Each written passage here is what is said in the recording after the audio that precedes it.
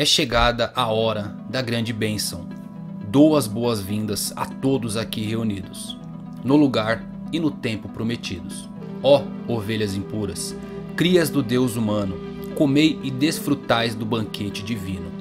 Ó escolhido destino, nosso apóstolo e falcão, sois o escolhido, nesta hora e momento, tu que foste escolhido pela mão de Deus, nosso parente, o tão esperado e abençoado Rei. Esta é a frase dita por Void, o mais misterioso membro da mão de Deus e possivelmente o maior antagonista de toda a série de Berserk. Ele é a chave de tudo. E será que você sabe tudo sobre ele? Se liga que eu vou falar nisso agora.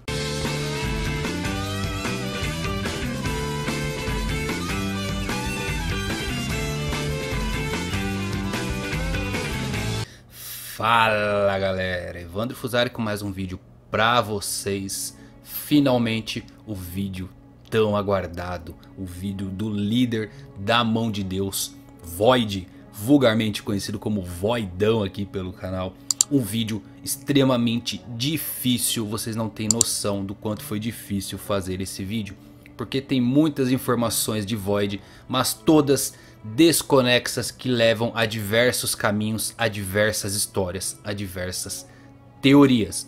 Mesmo assim, eu consegui reunir algum desses fragmentos e montar esse dossiê da mão de Deus. Não é o último, depois vamos ter do Fento. Eu já fiz dos outros membros, vou deixar o link dos vídeos aqui no card. Já fiz de Islam, Conrad, Yubik Inclusive fiz da novel de Grumbeld contando todo o seu passado trágico, muito semelhante ao de Guts. Então neste vídeo aqui vamos focar em Void, o ser misterioso, o único que possui o dom de colocar a marca do sacrifício. Eu queria avisar vocês que apesar de citar bastante outros personagens não irei detalhar muitas coisas deles, pois cada um terá seu próprio vídeo específico aonde vamos matar todas essas dúvidas. Nosso foco de hoje é Void e incrivelmente Void seria em tese o personagem com mais possíveis ligações para se falar. Temos as citações sobre as lendas que remetem a ele. Temos a entrevista de Kentaro Miura dizendo que Void é a chave de tudo. Temos bons indícios, sim, mas Miura é um lazarento de mão cheia. É um gênio, mas um lazarento, porque o miserável deixou tudo tão confuso que Void se torna o personagem mais difícil de se montar o dossiê. Mas meu trabalho é juntar esses fragmentos e tenho certeza que esse vídeo vai deixar você com um nó na cabeça. Quem ele era antes de se tornar a figura mais icônica da mão de Deus. Agora com vocês, a história de Void.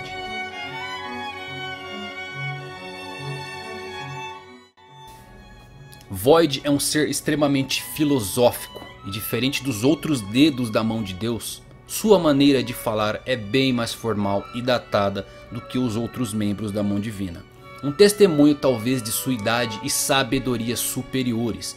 Seu foco principal é o fluxo da causalidade e sua inevitabilidade. Em todas as aparições, Void sempre permanece calmo, nunca demonstrando qualquer tipo de emoção. Mesmo quando as coisas não vão de acordo com seus planos ou desafiam, abre aspas, a vontade da causalidade, fecha aspas. Ele também é o membro mais educado da mão divina, dirigindo-se ao bando do Falcão como convidados de honra no momento do eclipse, em vez de tratá-los como meros sacrifícios como os outros apóstolos fizeram. Apesar de tudo isso, Void é incrivelmente manipulador. Ele usa as memórias do passado de Griffith para convencê-lo a não apenas sacrificar os seus homens, mas que também seus homens aceitariam de bom grado esse destino para promover seus próprios objetivos.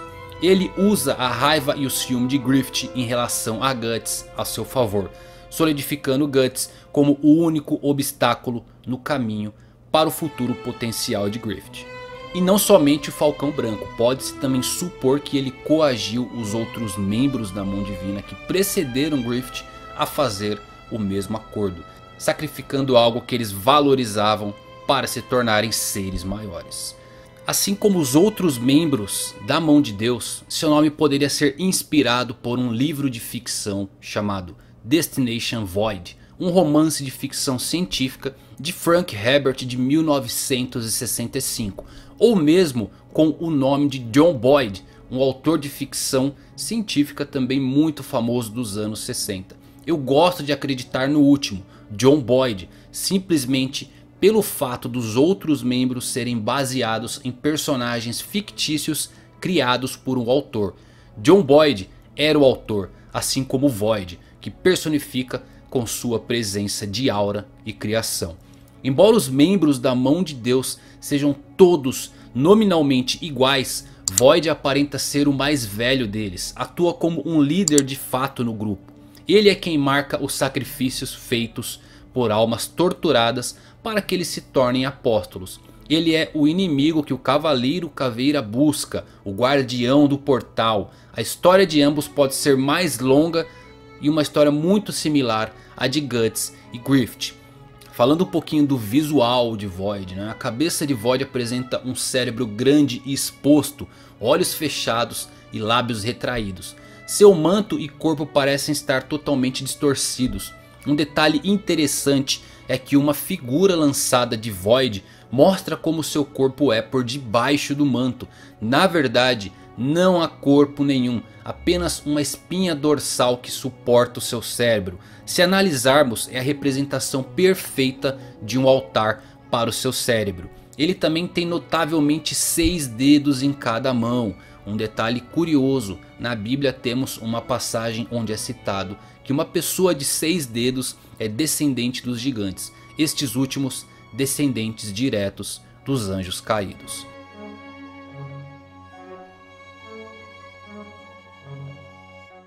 Quais os poderes Void possui? Bom, além da manipulação mental, Void também pode ver o design da causalidade. Mas apenas de uma forma que limita sua onisciência. Isso permite que ele preveja quase todas as possibilidades e influencie o curso dos eventos para garantir que uma possibilidade se torne uma realidade. Ele também pode manipular o espaço, como quando muda a direção do ataque recebido pelo Cavaleiro Caveira e por último, o grande destaque do seu leque de poderes, a marca do sacrifício. Void é o único membro da mão divina que é visto administrando a marca do sacrifício, marcando a alma dos infligidos como a marca que compele todos os tipos de criaturas caídas a matá-los e uma oferenda. Esta habilidade é geralmente usada como meio de criar um apóstolo de uma alma torturada que adquiriu um berrelite. Na fusão do mundo astral, sua imagem foi a mais enigmática. Sua manifestação plena durante o evento é a imagem gigantesca de um cérebro. Seu maior potencial, sua sabedoria. Uma coisa interessante é que se escurecermos a imagem, apenas um quadrado permanece claro. Como uma janela ou um portal. Se lembrem que o Cavaleiro Caveira já o chamou de Guardião do Portal. Isso aconteceu no capítulo 80 quando Zod o impede de entrar no vórtice do eclipse. Ele chamou o Void de o guardião do portal. O fato dessa imagem mostrar seu poder máximo, sua sabedoria, como uma janela ou um portal, pode estar diretamente ligada ao nascimento de Void. E é dela que vamos falar agora.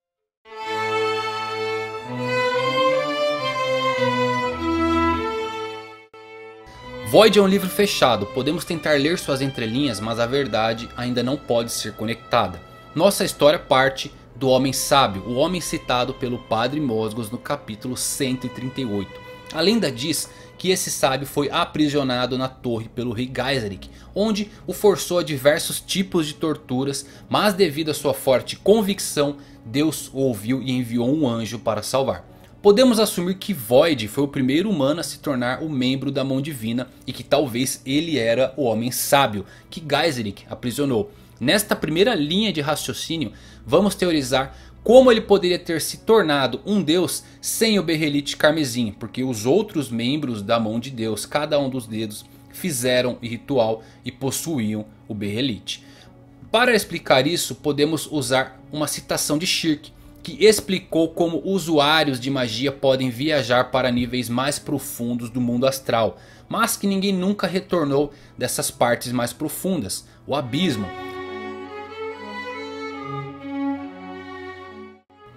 Enquanto o sábio estava preso e sendo torturado foi quando apareceu o primeiro anjo. Aqui uma curiosidade, algumas traduções para português aparece Mosgos dizendo alguns anjos salvaram o sábio. No inglês e no japonês é citado apenas um anjo aparecendo na torre, ou seja, um, não alguns. E esse anjo poderia ser nada mais nada menos do que a projeção astral do sábio em direção ao mundo astral ele acabou indo muito fundo e foi onde ele conheceu o Deus do Abismo. E talvez um acordo direto com ele tenha acontecido para ele nascer como o primeiro membro da mão divina.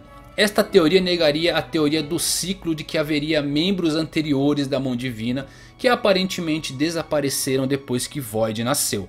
Mas como não temos qualquer indício de ter um ciclo da mão divina na história, vamos nos ater aos fatos do que aconteceu mil anos atrás. Agora ficam perguntas no ar. Por que o sábio foi preso? Por que a cidade de Geyserik foi destruída? E se não houve eclipse, como temos aqueles corpos com as marcas do sacrifício na cidade afundada? Primeiro vamos falar que não houve um eclipse ou sacrifício como o que já vimos acontecer. Compare os cadáveres na parte inferior da torre de Midland no capítulo 53. As consequências do eclipse, a novel de Grumbald ou mesmo a esposa do conde. Todos receberam a estigma em lugares aleatórios. No pescoço, no rosto, no peito além de serem mortos de forma violenta. As pessoas que morreram há mil anos na capital do rei Geyserik não parecem ter sido sacrificadas em uma cerimônia no estilo eclipse. Seus cadáveres não estão parcialmente comidos ou dilacerados. E todos eles foram marcados no mesmo lugar, na testa. O que nos dá indícios talvez de um culto ou uma seita. Para mim o sábio era o líder desse culto e vou um pouco mais longe para teorizar que talvez esse culto possa ser a origem da Santa Sé. Mas enfim, as marcas do sacrifício foram auto-infligidas por esses seguidores. O sábio planejava algo maior, talvez a junção do mundo astral com o mundo físico. Geyserik o impediu, o prendeu e o enviou a Albion, mas o seu culto não foi parado em sua cidade. Geyserik descobriu os planos do sábio e o prendeu. Seu culto e seus planos maiores contra a humanidade continuaram. O que torna tudo mais cheio de mistérios é como a cidade de Geyserik foi destruída. Ainda no capítulo 53 nos foi explicado que a capital do rei Geyserik foi destruída pela vinda de quatro ou cinco anjos. O que muitos ligaram a God Hand. Eu vou para um caminho oposto. Eu aposto que esses anjos eram os reis elementais. E por quê? Nos foi explicado que a capital foi dizimada por raios e grandes terremotos. Isso soa como algo que a God Hand faria? Eu duvido muito. Vimos os poderes dos God Hands durante o eclipse ou em outras aparições deles. Relâmpagos e grandes terremotos soa como algo que os reis elementais ou outros espíritos elementais fariam. Quatro ou cinco anjos Bem, como podemos explicar isso? Os quatro anjos que destruíram a cidade poderiam ter sido os reis elementais tentando impedir que Void ascendesse sua humanidade novamente. E com isso teríamos quatro reis elementais e Void batalhando, fechando a lenda dos cinco anjos que afundaram a cidade. Da mesma forma que ligam Void ao sábio, ligam o cavaleiro caveira a Geyserik. Flora tem ligações com o Cavaleiro Caveira. E pode ter sido Flora a ter ajudado Geyserik durante a queda da cidade. Ela pode ser a responsável por invocar os quatro reis elementais para parar o caos. Afinal tudo já estava perdido por conta do culto e o renascimento do sábio como Void. Histórias e lendas são confusas e se perdem no tempo. Então a destruição da cidade ocorreu desse embate entre as cinco entidades. A cidade estava perdida devido ao culto criado pelo sábio e as emanações negativas eram tantas que atraíram espíritos malignos. No fim ela teve que ser destruída e se formou a lenda de que devido aos excessos e luxúrias do imperador, quatro ou cinco anjos o puniram.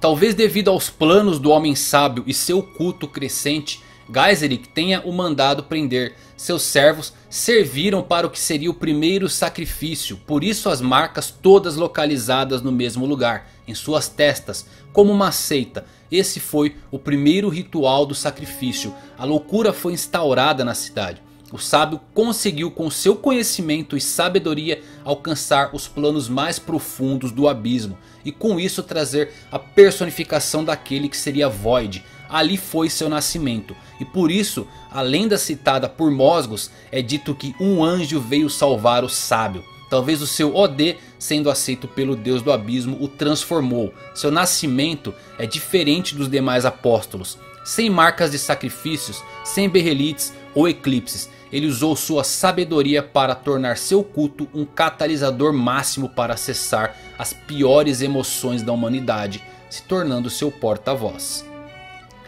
Temos uma outra variação que talvez o sábio, ao alcançar o abismo, encontrou apenas caos. Pensamos que talvez existia naquele momento um conglomerado do lado negro das emoções do subconsciente humano, sem forma, apenas uma massa dessa energia Talvez o sábio conseguiu poder suficiente para reunir essa massa e transformar em algo. Algo que talvez deforma as linhas do destino, o deus do abismo.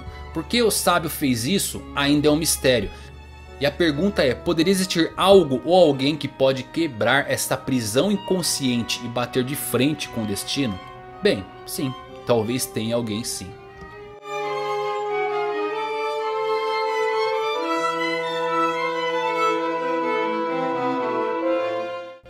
Há outras teorias em que alguns acham que o sábio na verdade era o Cavaleiro Caveira e Void era Geyserik. Ou mesmo a lenda que fiz da mão divina ser um ciclo. As possibilidades são muitas. Miura disse, Void é a chave, o resto eu deixo na mão dos leitores. Então ele deixa totalmente aberto para você teorizar, é muito complicado. Talvez a analogia perfeita que acho para responder por que Void é a chave de tudo é usar os jogos da série Souls. Hidetaka Miyazaki, criador da série, teve fortes influências de Berserk. Miura não foi nenhum consultor dos jogos, mas eles se encontraram algumas vezes e Miyazaki deve ter pego alguns detalhes para compor o seu enredo. Basicamente, a série Souls fala sobre a luta da humanidade para manter a chama primordial, a primeira chama acesa e evitar que uma era de escuridão venha caso ela se apague. Essa luta dura eras, milênios, reinos surgiram e caíram, todos para manter o desejo do fogo. Mas no final, por mais que lutem com isso, a chama se extingue. No fim de tudo, a Era da Escuridão é adiável, mas não inevitável. Compare a escuridão com o destino. Berserk gira em torno das amarras do destino e seu controle sobre a humanidade. Void é o emissário do destino, a chave para manter o controle e concretizar a vinda da Era de Escuridão. A profecia e o fim da chama, o nascimento do rei, o Falcão das Trevas.